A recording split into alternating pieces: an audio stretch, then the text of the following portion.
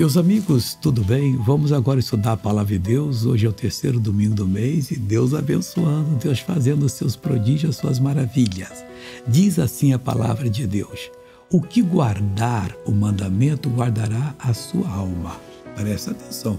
Você guardou o mandamento, você guardou a sua alma. E Deus não deu aquele mandamento por acaso, é para protegê-lo. Ah, eu não vou guardar esse mandamento, abriu a alma para o inimigo. Mas o que desprezar os seus caminhos morrerá. Mas todo mundo vai morrer, não, é será separado de Deus, meu irmão. Deus está dizendo você para você não desprezar os caminhos que Ele mostra a você na Bíblia, que são seus, que você tem que trilhar. Se os desprezar, você morrerá. E como é que vai ficar isso aí? Vamos ver esse testemunho? A sua não mexia? Tá quebrado. Quanto tempo? Três anos. Como é que a senhora andava com o joelho quebrado? Arrastando os pés no chão. Então imita aqui para mim como é que a senhora andava. Imita.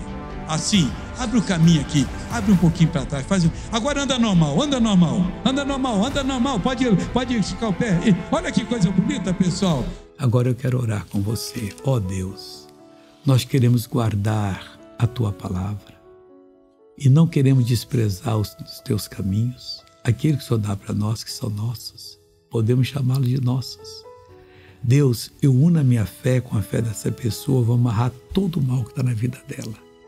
Eu digo, doença saia, perturbação vai embora. Não fique fora, em nome de Jesus. Amém.